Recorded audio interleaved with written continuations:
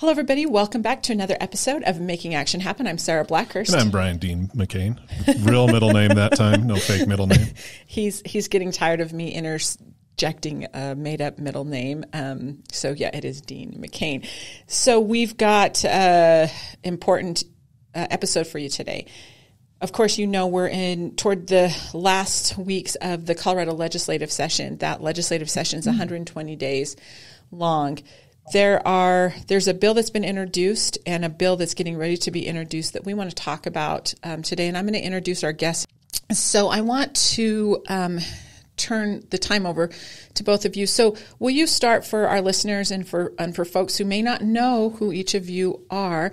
Loren can we start with you? And can you just tell us about you and about your why you're doing what you're doing and and your organization Thank you, Sarah. I'm Loren Furman. I'm the president and CEO of the Colorado Chamber of Commerce. The Colorado Chamber of Commerce represents several thousand businesses of all sizes, of all industries across the state. We also represent over 50 local chambers of commerce and about 48 trade associations. So we really have the voice of business statewide. And that my goal is to represent their interests down at the state capitol and making sure that we're protecting their interests when it comes to the legislation that we're going to be talking about here. It's a lot of chambers and it's a lot of responsibility. Um, and we were talking earlier, just like me, you have to be considering all industries, all the impacts, how everything fits or doesn't fit together. Um, and so, um, my respect and affection to you, Loren, for that work. Dan, you and I have known each other for several years, ever since I started. You've been um, You've been active and uh, standing up for our state and protecting our state. Will you introduce yourself and tell us a little bit about your organization? Sure, and thanks for having me on. Uh, my name is Dan Haley. I'm the president and CEO of the Colorado Oil and Gas Association. We're a statewide trade association with about 250 members that represents the entire value chain of oil and gas in, in Colorado. So those upstream producers who are who are getting the oil and gas out of the ground, the midstream companies that are sending it down to the refinery, the refinery, uh, some utility companies, anybody involved in the energy sector in Colorado is invited to be a member of COGA. Our job is is much like Loren's and yours to advocate for these important industries, or excuse me, these important businesses that are the you know backbone of our, our country and our, our nation, and to ensure that they can continue to operate here in Colorado. We've got a lot of rules in our state. So our operators and members know they have a very high bar to meet to work here in Colorado, but the bar continues to move and shift and get raised and, and change. And so we try to figure out exactly what's happening at the state, figure out how we can work through all the different rule makings that are out there, the new legislation that's coming, so we can continue to produce this vital resource that we all need every single day. And and just so our listeners know, um, oil and gas, you know, it contribute contributes a little bit to the economy of Colorado, right? just a little bit. Yeah, it's about a twenty-seven billion dollar industry, according to the University of Colorado report that came out in December of last year. So a huge part of our economy in the state. There are a lot of activist groups out there right now that are trying to minimize that, producing different reports showing that you know uh, the the value isn't the same. This is considered a primary uh, employer in Colorado. So for every one job that's created or exists in the in the oil field or the gas patch, two or three are created elsewhere in the economy because that job exists or to help support that job. So again, important uh, important jobs that are, are key to our, our state's economic success. And just out of curiosity, what does that, uh, what's the con- tax contribution um, to the state? From your industry? So that yeah, that varies every year, but it's about a billion dollars in state and local taxes. And those go back into our communities primarily to pay for things that we value, libraries, recreation centers, hospitals, uh, et cetera. And there's very there's various buckets of these tax dollars. About 600 million goes to K-12 education every year. Another 275 million comes back through something called energy impact grants which can go across the state. So you don't even need to be in an oil and gas producing county and you can receive money in these energy impact grants. For example, Leadville helped restore the Tabor Opera House using an energy impact grant. There are new fire trucks on the western slope that are paid for through these energy impact grants. It goes across the state.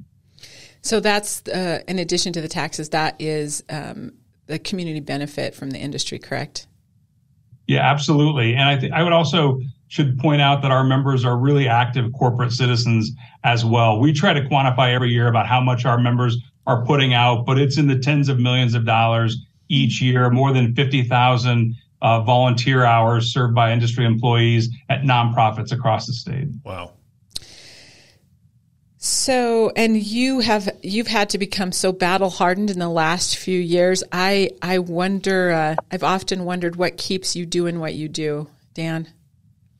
Well, your battle hardened is a, a, great great term. It seems like we are always uh, on the menu, but uh, again, my goal is to be at the table. And what keeps us going and what motivates us and gets us into work every day is we really believe in what our members do every day. We understand the importance that it has on our community. Oil and gas is the underpinnings of our modern life. Everything that we we use throughout the day, like our cell phones, clothing, all begin in a barrel of oil, all made possible from natural gas. So one, the, the product is vitally needed for our livelihoods, for our success in the mm-hmm. 21st century. And then you begin to look at the broader energy security argument and you see what's happening across the globe when countries like Germany transition too quickly to renewables. They shut down uh, their nuclear plants. When you see Russia invades other countries to establish energy dominance through military dominance, you begin to understand how important it is that we produce this resource, not only here in the United States, but we do it here in Colorado, where we believe we're doing it cleaner, better, and safer than most anywhere on the planet. That's what drives us. That's what the reason we come to work every single day is because we believe in that mission. We believe what our members are doing are crucial and, and critical to, to our livelihoods in the 21st century. I'm so glad you brought that up as I've looked at uh, the legislation that's come out, not just this year, but in previous years. Uh, we have a lot of conversations internally about energy security or insecurity um, and how important it is that Colorado takes a very innovative stand um, and a very innovative approach so that we can um, ensure that in a clean and um, moral way, really. Responsible responsible. I think it's more than just responsible. I think it's um, and it is responsible, but it's also the right thing to do and the right approach. So let's um, let's backtrack just a little bit and talk about. Um, 1294 and then we're going to talk about this utility bill that we're that we're hearing um, is coming out that we've seen some drafts of so loren can you um, unpack a little bit um, on this because so let me say this there's provisions in both of these bills and Loren heard from me yesterday when I called her. I was pretty hot about it. So I'm trying to just tone it down because we like to give um, the benefit of the doubt on legislation. And I'm really, I'm really honestly having a very difficult time doing this. There's some provisions of this bill that are terrifying in my, um, in my opinion. But beyond, beyond that, I, I try to say, you know, what burden or what what's what problem is this a solution to? Um, what's the intent of the bill? So we'll get into the intent of of twelve ninety four, which is the um, pollution measures. It's the HB twelve ninety four, the pollution protection measures. Pollution concerning protection measures to protect communities from pollution. Yeah, this is this is hyperbole. Okay, go. Loren, tell us what you think. Oh, I just, I got so mad I just broke this thing. Oh no. well, thank you. Um, it is broadly called the Air Pollution Measures Bill. Um, there was no stakeholding on this bill. We now call that the fake holdering process, not the stakeholdering process down at the state oh. Oh, I'm stealing that. Um, and the brief explanation of the bill is that it requires pollution modeling simulations for different categories of permits um, and indirect air pollution sources that the department broadly determines to be large indirect air pollution sources of ozone pollutants. The problem with this bill, and I know, and um, my dear friend Dan is deeply impacted, his industry is deeply impacted by this legislation, but it has very broad implications uh, across the state for um, for different industries across the state. We have a list of over 40 opponents um, just in the last couple hours that continues to build um, that extend from the agricultural industry to manufacturers to hotels. So we're talking about a very large impact of what this bill does. Um, trucking industry, um, utilities, agriculture, bakeries, dry cleaners, manufacturers, steel mills. Anybody could be impacted by this legislation. The I think the big concern that we also have as the uh, State Chamber of Commerce, it is, seems that the sponsors are ignoring all of the work that already has been done on air quality permits and yet they seem to think, well, this is a bill that we need to offer because the state has not gone far enough. The governor just issued a directive to cut ozone causing NOx by 50% by the year 2030. But yet this bill doesn't recognize that step that the governor has, that directive the governor has made. And so has there been any work towards that directive, just out of curiosity? Um, Dan, you can probably answer that uh, on behalf of the industry industry's been working toward that goal of reducing our NOx emissions already. And then the governor just sort of upped the threshold of what we have to meet by 2025 and, and then 2030. There would be a rulemaking uh, probably next year on that directive to figure out how we'll go about meeting those goals. If this bill were to pass, it would likely push back all of the different rulemakings we've already been undertaking that are undertaken right now in order to deal with this particular piece of legislation. So, um, if he's already done that, why? What do you think the intent of this bill is? I think the proponents don't feel like it goes far enough right now, and yeah. not too not soon enough. I think that's a nice way to say it, and I appreciate you saying that. Um, I think I think this is um, the the underlying intent, whether anybody's going to say it or not, is to do damage, to do damage to the work that's already been done. Um, you know, kind of a temper tantrum, but also to do damage to any industry because this is pretty far reaching.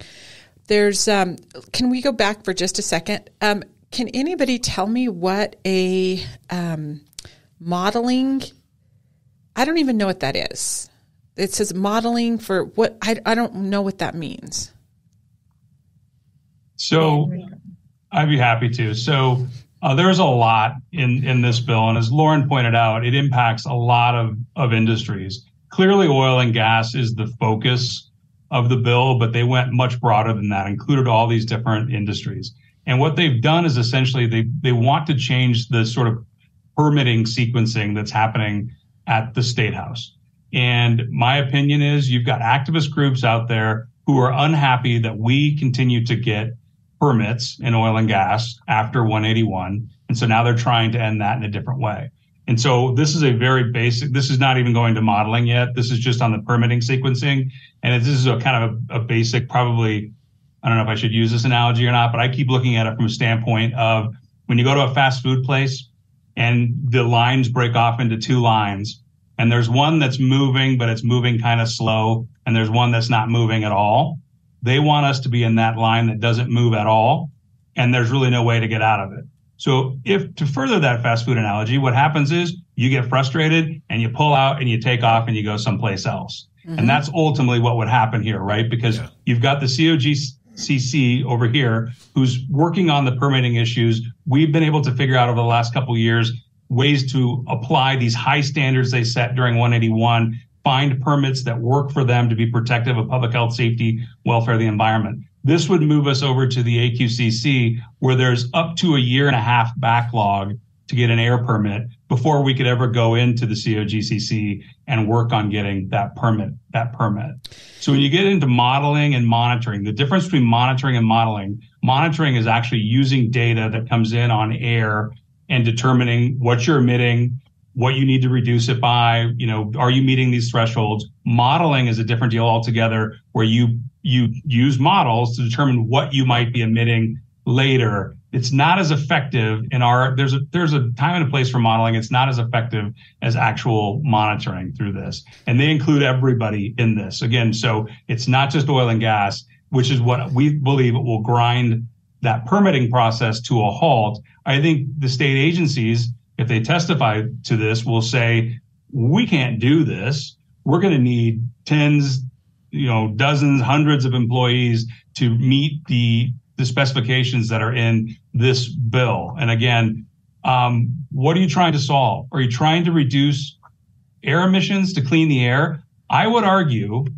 and I got raked over the coals on Twitter for this last week, but I would argue that if you're reducing the energy coming out of Colorado and requiring us to rely on other states or foreign countries for our energy, you're going to make the air quality issue worse in Colorado based on how we're producing this resource right now. And it's going to make it very difficult to meet the governor's NOx reduction uh, directives or standards because of that, mm. right? And then how do you get um, investment into the state when you're running bills like this? And to get investment into the state allows us to buy the technology, to invest in the technology to meet these goals. I've kind of said a lot there, so no, I'll, no, I'll no. It, There's, I want to, I want to go back for just a second. But what you're saying to me is that, and what I'm hearing from you is that what will happen is that um, energy production, and we're just talking about energy right now because there's a lot of other things in this, but energy production just in and of itself would get pushed to someplace else that doesn't have our standards, that doesn't have um, Coloradans' interest at heart, that doesn't have um, any energy, perhaps any energy interest at heart. You're going to have, they're going to go someplace else because that's going to be the, the cheapest, most expedient way to do it. So, in they're trying to shut this down, all they're doing is they're pushing off that responsibility, that moral objective off onto somebody else who doesn't hold that same value. Would you say that's true? Yeah, I believe that's exactly what will happen. And I think to, to Loren's point, it's going to impact more than, than oil and gas as this bill's written. So right this now. modeling is so they're going to what they're doing is they're putting the responsibility of so this is including bakeries. Uh, I mean, they list everybody that produces anything whatsoever from a bakery or a dry cleaner all the way up to the energy. Um, so you're going to put a bakery is going to be responsible for modeling in order to get permitted to be in business. Am, am, is this is this? Am I understanding that correctly? You're both nodding your head yes. Yes. yeah, it requires. I'm, yes. I'm looking at it. it. Requires pollution modeling simulations for several categories of permits including breweries, manufacturing, data centers, dry cleaners, bakeries, warehouses, distribution centers, rail yards, oil and gas facilities, and any other indirect air pollution sources that the department determines to be a large indirect air pollution source of ozone precursor pollutants. Would there be any opportunity for exemption or grandfathered in for current, say, a steel mill or an aerospace company or a rail test yard? or is it just everybody? It's this hits everybody all at once. This goes through. Right now, I don't see any exemptions in the bill. There may be some industries that might want to try to exempt themselves, but we haven't heard of any so far. And, and of those industries, the big ones, they're all within 25 miles of where we're sitting in Pueblo right now. Exactly. Yep. Or less. I- including manufacturing for clean energy, um, you know, wind towers, this, yeah. this would impact them as yeah. well. I would have to think batteries would be impacted by this. All the things that the people who wrote this bill say that they want would be hmm. impacted by this yeah. as well. So I want to get into you know, sitting. Go ahead. Sorry. No, go ahead. Dan. I was just going to say, sitting in in Pueblo or down in southern Colorado, where you have a, a company like Evraz, yeah. it's important to note the interconnectedness of our economy right? And I think people forget that, and people in the legislature forget that when they target one specific aspect of the economy, like oil and gas, they're not thinking about every day the men and women who show up at Evraz to produce steel pipe. Which, by the way, I think most of the steel pipe that we have in the Denver Julesburg Basin in northern Colorado comes straight out of Pueblo into the DJ Basin, into the ground to produce oil and gas, which then goes to Suncor, which then refines it and goes to the Western Slope for retail gasoline, which goes into asphalt for the for the state of Colorado, which goes to DIA for jet fuel. And so any one of those things gets disrupted, you disrupt the economy. And I think they forget that when you're very insular and you're kind of in your your world at the state capitol, hearing from the same people over and over again, you forget the impact that happens across the state when you target any one industry.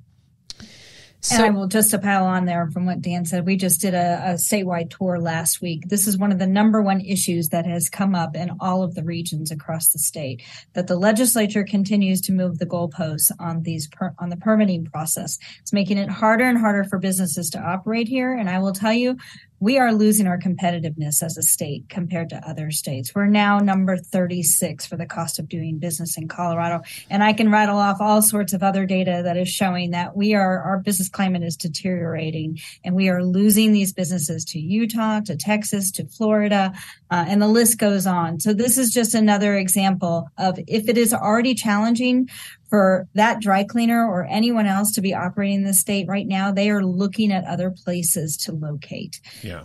And Absolutely. that shouldn't be the way it is in, in this state. We've had over the last three years, the rulemakings the state's done on oil and gas have added a minimum, and it's a conservative number, and it's the state's figures, a minimum of $500 million to the cost of doing business in Colorado every single year. That comes at a cost, obviously. And to Loren's point, when you begin to think like, you don't want to get to a spot where this state is uninvestable, where people look at Colorado and they go, we don't, you know, we want to go somewhere else.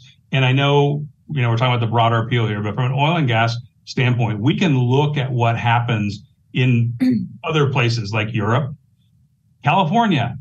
We can see what they have built the roadmap. They are, you know, I joke all the time with people from California are coming from the future and they're telling us what what the future looks like and we have to listen to them. We don't need to pretend like you know we don't know what's going to happen if you eliminate your ability to produce domestic energy. California decreased their oil uh, production by 60% but didn't inc- didn't decrease their consumption of it. So even the governor gavin newsom has said we're now relying on foreign sources for our, our oil which is not an environmental solution they have rolling brownouts because they don't have the capacity to support the grid in their state. They're encouraging everybody to buy electric vehicles and then turning around and telling them, but you can't charge it between 4 and 8 p.m. at night because the grid will collapse. It doesn't make any sense. We can have all of these things. We can have the environment that we want and the economy that we need, but we have to work together. And to, I'm, now I'm getting fired up, Sarah. You said you were fired up. Do it, to, Dan. To Loren's point,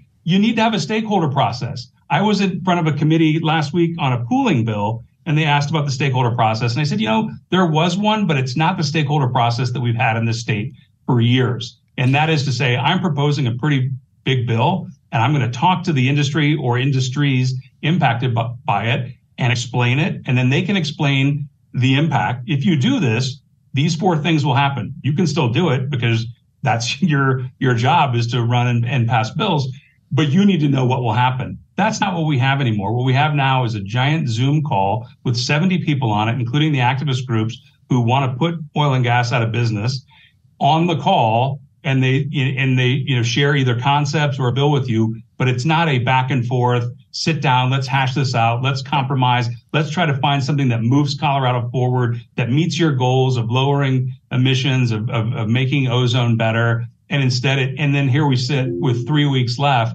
proposing major legislation that's going to be decided or voted upon at two in the morning when Coloradans are asleep. So let me, I love that you say it's going to be voted on when Coloradans are asleep. I need to back up a little bit for our listeners because unless you're in the arena battling like we all are, you're probably not going to know what stakeholdering is. So stakeholdering is not actually a word. And stakeholdering, stake doing that process um, is not required, is not a statutory requirement in Colorado. But what we mean is stakeholdering that we have relied on for decades and decades has been weaponized um, to make sure that um, legislation goes through and rulemaking happens without Coloradans knowing what's happening to them. So uh, traditionally, the stakeholdering process was we have a bill. This is what we propose that it's going to solve. This is the solution. This is this bill is our proposed solution to XYZ problem. Um, what do you think? You're an industry expert. You're a, a subject matter expert. You um, have the voice of, you know, the voice of your membership, your region, whatever. What is, um, will this work? Will it not work? What are the impacts? And all of that happens often um, before it's even introduced. And I'm going to give you a really good example of a, of a very, very thorough stakeholding stakeholdering that happened a couple years ago when the governor was getting ready to um, introduce his transportation plan. There was a whole lot of discussion. We went line by line. There was a lot of things that were changed. You know, said they said this was what proposed. Nobody was completely happy when it was done, but it was um, everybody had some role to play in that. When I say everybody, it was all the industries, everybody that's touched by that. That is ancient history. We no longer have that. So the stakeholdering where you're asking Coloradans or people that you know also represent or have an alternative perspective um, to come and say, how do we make this better? This is that's what good governance looks like to have that stakeholdering process. This legislature has failed, has failed Coloradans and has failed us when they departed from that strategy of finding out if what they're doing is going to be to benefit or to hurt, to cause burden, to cause damage to Coloradans. I want to bring up a couple. Well, Go ahead. Let me throw this in. All right. When when we brought this up last year, we talked to two legislators, and they said the stakeholdering state. I can't even talk. I can't say it right now. Too much coffee.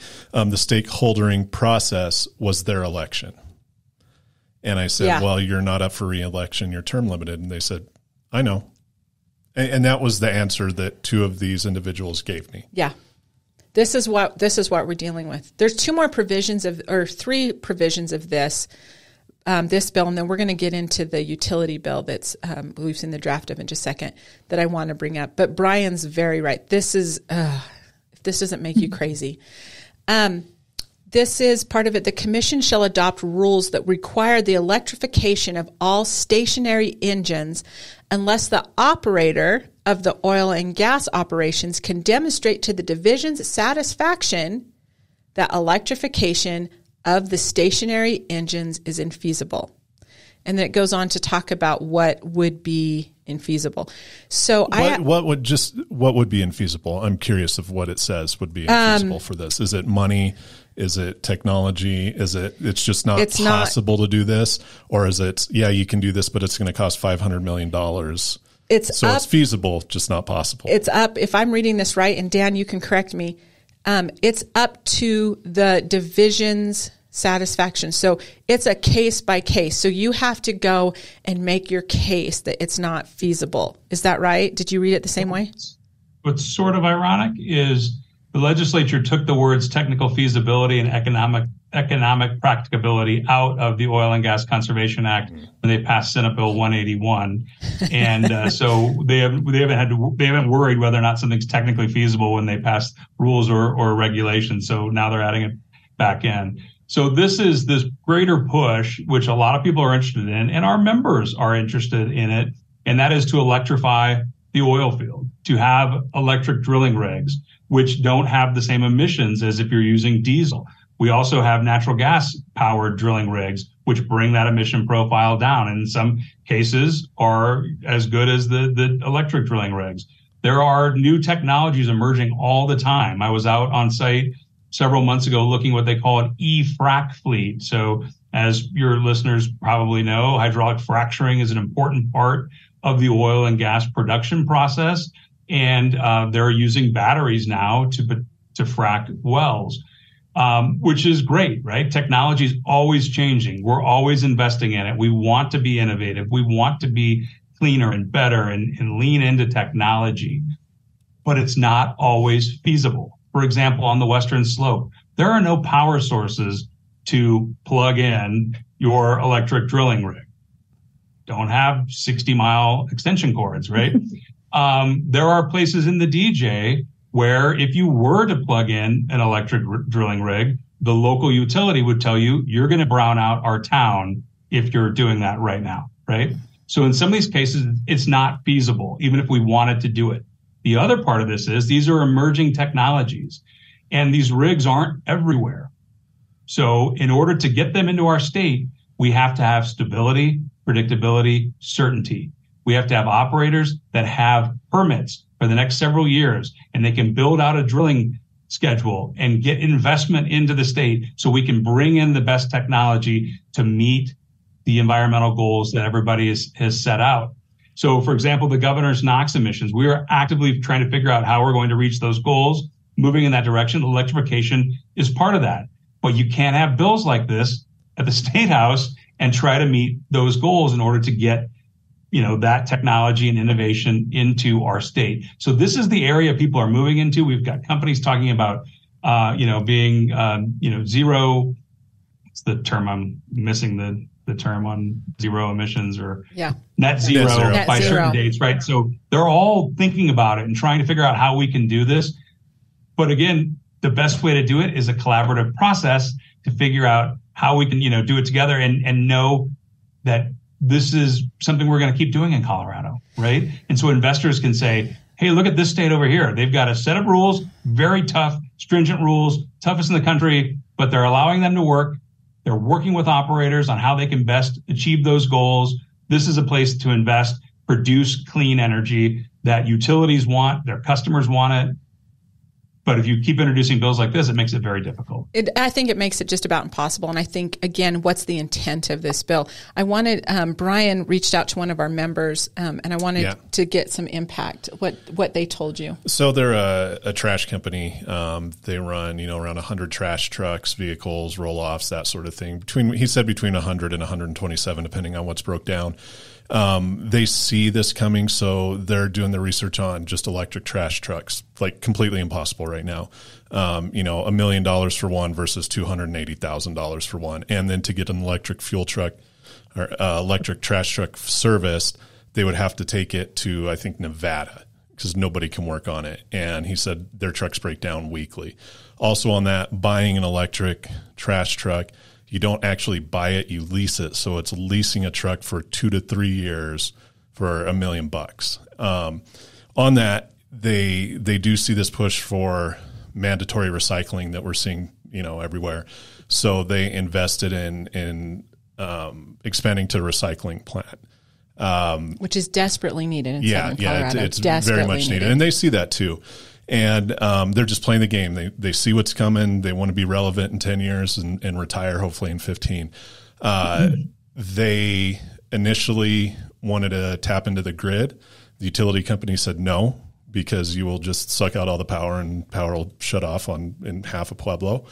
So, and there's no infrastructure for it there. So, even to build it out, it was like tens of millions of dollars to, to get it working where they're at. Um, so, they bought a diesel generator to do this. Um, also, the amount of power it takes to power a recycling plant, it's like one day is as much as they spend in one to two months at their transfer stations. Not one, but like multiple transfer stations. Um, so he did get the generators and he's seen this and he's like, you know what? I'm not even going to put this together. Not even going to try. They're just going to sit in the back and hopefully I could sell them to somebody out of state soon. Um, on that too, they seeing the writing on the wall, uh, their maintenance trucks, so not the trash trucks, but just kind of their utility trucks. They wanted to do an electric fleet of those of like, you know, 12 to 17. Um, again, they, they care about the environment and they're doing what they can do. And the utility company said, well, we can't even put up charging stations for you. It's just too much a suck on the, the grid right here. So they're trying to go electric and they cannot go electric. Yeah, and I think that those things will come as a you know over time. Yes. which is also why it's hard to mandate and put years, dates certain in, in these things. I had a conversation with the Colorado Motor Carriers Association a couple of months ago, and maybe the technology's changed on this, but at that time they were talking about the long haul trucks like the diesel and doing those electric, and the batteries are so heavy in those Yep. that it changes what you can put the cargo in the back. So for every one big diesel on the road, you'd have two for EVs. Better tailpipe emissions or no tailpipe emissions, but now you've got two giant trucks on the road tearing up the roads, you know, all the different impacts. So there, there are trade-offs in all of these things that we do, which again comes back to that idea of this broader discussion about mutual goals and how we can move forward. Yeah, so, Loren, and- I don't mean to jump ahead No, of you. no, no, you're great. No, I wanted to. I wanted to visit about two more provisions um, on this bill, and I want to get into the next one. Um, I want to talk about the um, litigation piece of this. So, uh, and Loren, um, because there's so many industries, I wanted you to to um, touch on this. But if I read this right, and you correct me if I'm wrong, um, any individual who feels like you're not or you're uh, adding to the ozone or you're doing air pollution can sue you, can sue your business um, that would shut it down. And then, no matter the outcome of the litigation, you're still, the respondent is going to be responsible for all of the legal fees and whatever else the judge deems and they're, you know, on top of that. So you are, you can get sued just for being in business because somebody has a feeling that you're doing whatever. They don't like you if they're competition, doesn't matter. They can sue you and you're going to, and it'll shut your business down and you're going to be responsible for whatever legal fees, regardless of the outcome. Did I read that correctly? You were absolutely correct. Private right of action by any citizen. And it shouldn't come as a surprise that it would pop into a bill like this because we're seeing it in almost every piece of legislation now. Yeah. Normally it's in the labor and employment space. We have 20, 30 bills that deal with some private right of action, some litigation um, provision, but why not put it in here too, right? And I go, I want to go back to our, our state rankings. We have dropped, our legal climate rankings have dropped from 16 to 21. Again, trial lawyers are starting to win Oh, and yeah. so we got to start turning this tide back and pressing back on some of the things like this. This has got to come out. Well, the bill needs to die. The bill needs to die. More offensive as it gets worse, and we do need to talk too about the the VMT language. Thank you. That was the other part. That so yeah. this okay. Let me let me give some context for this.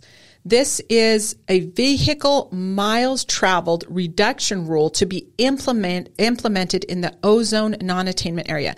So, what this means, I got to tell you gas tax. No. Mileage tax. No. What?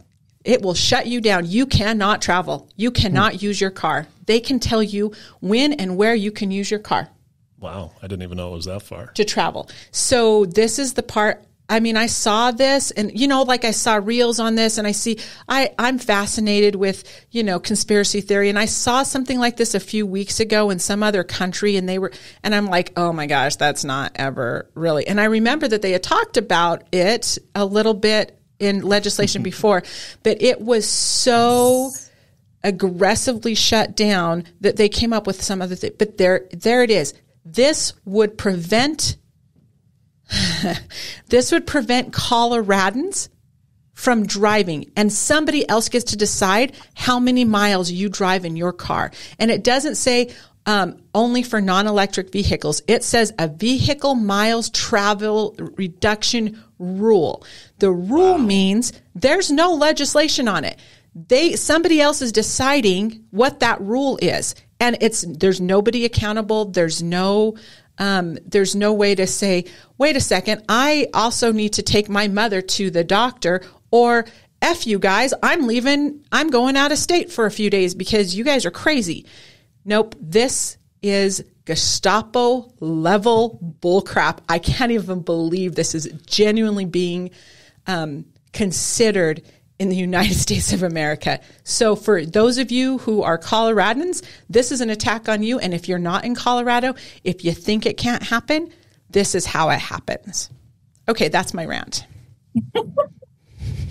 and Sarah, you're absolutely right. Um, the one thing I would mention is there is this feeling of tone deafness because this was already addressed over the last two years. Mm-hmm. There was an attempt to do this in 2021. Um, workers spoke out loudly against this. And again in 2022, it was raised. Again, it, the bill was defeated in the legislature. So I go back to my original point of what are we doing here? Because it seems that people have spoken out against these types of provisions already. We're not paying attention to what has already happened. We're not allowing businesses to comply. We're not allowing workers apparently to use their personal vehicles to do the things that they need to do, like pick up their child at 6 a.m. or 6 p.m. because they can't take light rail or their the bus doesn't run during those times or their child gets sick and they have to leave work to go pick them up. So these are all provisions that I feel like um, it's very frustrating, right? Because you've seen this over and over and over again being discussed by the legislature, or even being discussed through the rulemaking process and being shut down, but yet we're seeing it again. So I'm going to ask you this question before we move on to the utility bill. And I've gone through this and I genuinely and and my board knows this. And by the way, the Action 22 board was very quick and they vehemently, they wanted me to say vehemently oppose this. There's nothing there. So I'm just going to say I've read through this um, several times, all 37 pages of it, looking desperately for something that was redeemable in this. And I could not find anything in this bill whatsoever that I thought was of any value, solved any solution, and wasn't an all out attack on Coloradans and the in Colorado industry did you guys find anything that was positive in this bill? We aren't seeing any indication of how this is going to reduce ozone levels.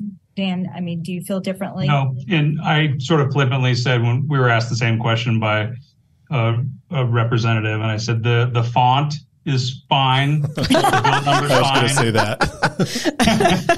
that. Otherwise, no and it, I don't think it has any guarantee of any improvement in air quality. Okay, so I'm going to say I, I, I know, I know, I know a. Two okay. positives of it. All right, God it's, bless you. Um, my kids are trying to figure out what they want to do for college and in the future. It's going to be a, a, missions modeling or a lawyer. Oh my god! it's, the, it's, the, Litigation Attorney Full Employment Act. So it's also the Paperwork uh, Paperwork Act. So here are the prime here are the prime sponsors for this: Representative Jennifer Bacon, Jennifer or Jenny Willford, Faith Winter, and Senator Julia Gonzales. So I'm naming names. I'm not going to go through all of the people who have signed on to this. We're not happy with you. All right, let's talk about the utility bill. this one, I, I said Gestapo level tactics. This one, uh, this adds to it. Um, and, and I don't apologize for that. I don't think it's hyperbole to say how many tr- miles you can travel is just that's le- first level. This one is second level. So let's um, Will you? Will you? Uh, you've you've reviewed the draft. I have not reviewed the draft. Dan, you can tell us a little bit more. Can you um, uh, take this us through that bill? Yeah, I'll do the best I can. There's a lot to this, and it's not in my exact wheelhouse, but I'll I can talk a little bit about it and what I know from it. Um, this is something that was born out of the Joint Select Committee that Senate President Steve Fenberg put together on high uh, utility bills from December, January, February of this year. And it's a very kind of populist thing to pull that group together and to talk about these high utility bills. And I am in no way making light of high utility bills. We all paid them and had to, to you know, deal with that this winter. Um, but what this does is it it it's sort of that old you know adage of never let a crisis go to waste. And I will shorthand this in saying that this bill, if passed as written, would make it more difficult or more expensive for uh, some utilities to use natural gas to power homes in, in Colorado, would make it easier to put solar uh, on your homes and make it easier for the affluent people who can afford solar to have other people pay for solar on their homes. Uh, it does things like eliminates the line extension allowance um, for uh, utilities right now. That and so that would increase construction costs, make homes less affordable in Colorado, which you know we're already doing. Uh, it's already expensive to to live here. Uh, that limit the line extension allowance was already discussed at the PUC and was killed there. And so then it comes back in a bill like this. And I think Loren will probably agree. This is what we're seeing a lot. Things that come up in rulemaking processes and are, you know, eliminated for whatever reason. They just don't work. And then that makes some people mad. And so then they cut, paste, and it ends up in a bill. And so this bill has not been introduced yet. And here we sit with less than three weeks to go. My concern from somebody who represents natural gas producers is you're making it you're making it difficult for us to get our product to market. Uh, if you're making it difficult for us to get a product to market and you're eliminating natural gas from the grid or making it harder to get it onto the grid, you're going to increase prices on people, not decrease prices on people. So I think this is another one of those bills that sets out to do something and will have the exact opposite effect. The reason bills went up last year or spiked were it was a supply and demand problem. There was not enough natural gas to go around the world, essentially. This is a globally traded, traded commodity. Not to get it in too far into the weeds here, but you've got Russia cutting off gas to Europe. Um, they desperately needed gas. Gas will kind of follow the highest price, right? So it's going to go to Europe. American gas saved the continent of Europe this winter. Uh, a lot of it goes to California where they are needing gas. So the price goes up because there's not enough of it. And then now it has eased. The winter wasn't as bad in some areas. That, that price has eased. We expect the cost of natural gas to kind of go back to where it was. And again, this is a tricky thing to predict gas prices, and I don't do that. But everything I've read, it will go back to where it was for the past 10 years, which is a, an affordable source of energy for Coloradans. So I think that this bill is trying to solve something that was a you know difficult spike, um, but it's not going to bring down prices from what I've been able to tell. So just looking through the provisions of the bill, Dan, what did you see that would actually um, lower prices? If this was the intent of the bill, what was what provision of the of this draft would actually do that? I'm not sure that there's anything in here that does, and I think it also runs contrary to the state of Colorado's policy goals and, and energy agenda. You know, it's it's really just a response to this short period of of high natural gas prices. I don't think there's anything that actually you know, will stabilize or reduce costs for customers. There's other things that you can look at there to so utilities can avoid that price spike. Um, and allow them to maybe you know leverage those costs over a longer period of, of time. There are certain solutions I think that are out there, but this doesn't look to do to solve any of them. I think it's an opportunity to try to attack the source that really powers the grid in, in Colorado. I looked the other night, uh, Sunday night, eight o'clock, looked at public service. There's a great app called Electricity Maps. You can look anywhere in the world and see what's powering electricity in those different regions of the world. So you can look at public service Colorado, 77% of the power on the grid was fossil fuels, mostly natural gas. At that point, the sun had gone down. Solar wasn't powering the grid. There wasn't a lot of wind. So wh- where are we getting our power from right now? It remains coal. They're transitioning over to natural gas plants, but we need the, we need these feedstock. We need, you know, natural gas to, to keep the grid viable. And I don't think it's, you know, in anybody's best interest to be attacking that as a, a source for our power, especially so this late in the game. This bill, and I'm going to get back to the late, the strategy of the late in the game um, for our listeners in just a moment, and also how this is a failure. The, their strategy is a failure to Coloradans as well. But does this bill? Um, did you see anything with this bill that? Um, does it support previous work or previous um, legislation that had gone through, or is it like 1294 uh, where it sort of demolishes what's the work that's already been done. I, I, think it conflicts with the emission reduction policies that we've seen in previous uh, bills that have passed in, in other years. Uh, Senate Bill 1, 236 from 2019, House Bill 1, 1261 mm-hmm. from I think that same year. Uh, it conflicts with with those bills as far as I can tell. There's a provision of this bill that makes me um, it makes me very nervous and very angry, and this is um, the part where utilities would be required to disclose individual information, including compensation, board participation, and other actions. I don't know what other actions mean for all individuals that work at these companies. What? They what salaries listed of every individual at the utility companies? Not just I have the, no idea. What's the intent that of that? From, what the point of it is, other than to be punitive, to be scary, um, threatening. I have no idea. I've, that serves no purpose. Yeah, and this is all. this is, and uh, so the burden would be on utilities. So they would have to do every single year. They would have to disclose compensation, board participation, and other actions for all individuals that work at these companies. So is that like the janitor on up? Yeah. Everybody.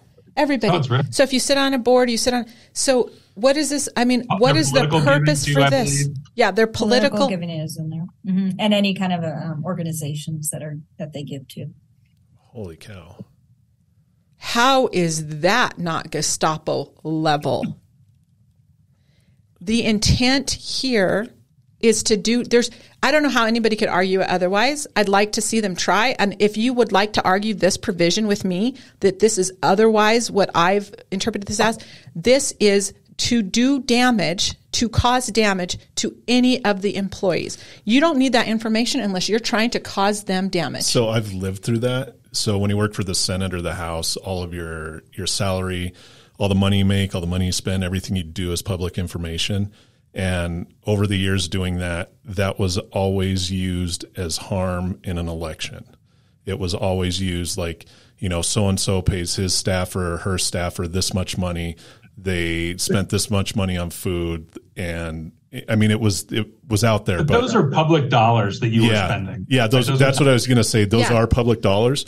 But looking back at it, it was never. I mean, it was good when you asked for a raise because you could look and say like, well, hey, my my you know my equal over there is making like twenty thousand more a year than me. But but just my experience with it, it was only used for harm or nefarious reasons. Yeah. But again, it's public dollars, and that's part of the deal with it. So if you do that in the private industry yeah. What yeah. do you think it's going to so be used one, for? So one bill, as far as Coloradans and how this directly affects you, there's nothing in this bill that would reduce or lower your costs. There's nothing that drives um, technology innovations with regard to other energy sources like hydrogen or geothermal or um, net uh, net zero emission natural gas. Any of those things that we would that we would look for um, it makes it a whole other places, other states, other countries far more competitive. Um, and the provisions of this bill do nothing but damage. And I don't want to pay for some rich dude's solar to be put up, you know, in a town over or across in the, the good neighborhood. Like, I don't want to pay for that. I don't want my power no. to go up because I can't. The other thing solar. I'll add here, I, am sorry, oh, no, go ahead. You, but the other thing I'll add, when I talked earlier about sometimes when you're at the state house and a lot of them don't understand the world that exists outside of Colfax and, and Broadway. Uh-huh. I think a lot of the policies that we see, it's really frustrating because they don't think about the most vulnerable among us. And right. those people who are making decisions about buying medicine, buying food, paying their rent, paying their utility bills, and they take actions that increase the costs on those people. If somebody wants to get solar, God bless you. Wonderful. I, I if have, you have the resources, yeah. We need all energy, right? At this point in, in our country and the, and the world, we need everything. But we have to remember that not everybody can afford all of these things, mm-hmm. and you cannot punish the least vulnerable among us. So I uh, I tell this story often, um, and I use myself for this reference. And um, I was speaking with uh, one of our board members, and they were in on that meeting um, what'd you call it? The Fenberg's meeting with you guys about why why gas prices. Committee. What was it? Yeah. Joint Select Committee. The Joint Select Committee. I don't know what that means, but um, the Joint Select Committee. And I said, did anybody at any point at, during this discussion um, say it like it is? Even though um, gas prices are going up, they um, electric is still more expensive. So I have an all electric house. My and it's a t- it's a little tiny house. It's a cottage in the mountains. And my bill over the summer or over the winter was around $400 a month.